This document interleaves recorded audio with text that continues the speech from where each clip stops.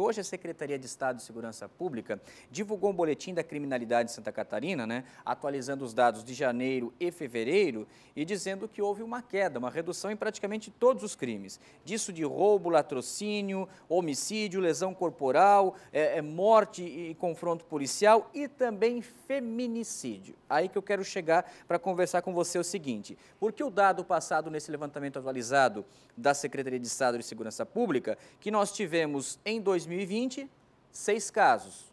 Em 2021, esse ano, de acordo com a SSP, nos dois primeiros meses, quatro casos de feminicídio. Ou seja, a informação oficial é que nós tivemos uma queda de 33% em casos de violência doméstica e feminicídio aqui em Santa Catarina.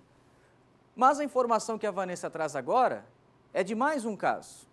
Mais um caso que não está nessa conta porque foi no mês de março do sujeito que tira a vida da própria companheira e foi em Alfredo Wagner. É isso, minha cara Vanessa? Isso, Zanotto. Esse caso ele ainda não consta nas estatísticas porque foi reportado à Polícia Civil nesta manhã. Foi um caso em Alfredo Wagner e a Polícia Civil fez a prisão em flagrante pelo crime de feminicídio.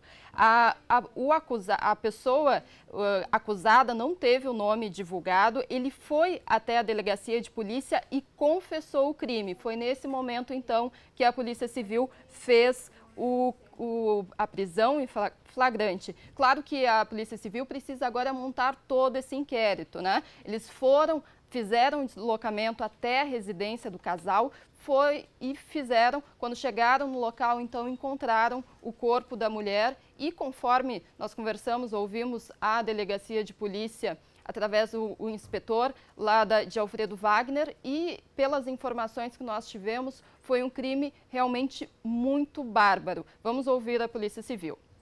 Num primeiro momento, isso informado pelo, pela perícia no local, a qual eu acompanhei, né?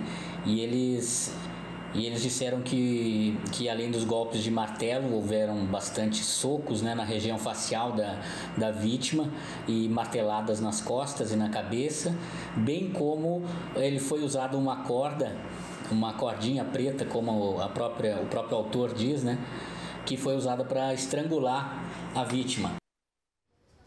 É, conforme o relato deste homem, a Polícia Civil, eles entraram em conflito e depois então ele cometeu esse crime e nesta manhã foi até a Polícia Civil para fazer a confissão. Ele foi encaminhado imediatamente para o presídio de Lages e agora a Polícia Civil está trabalhando na motivação desse crime, elaborando esse inquérito para que depois, então, ele seja julgado e seja condenado por esse crime bárbaro que ocorreu no, no município de Alfredo Wagner. Voltamos contigo, Zanotto. Vanessa da Rocha, muito obrigado pelas suas informações. Uma boa noite para você, querida.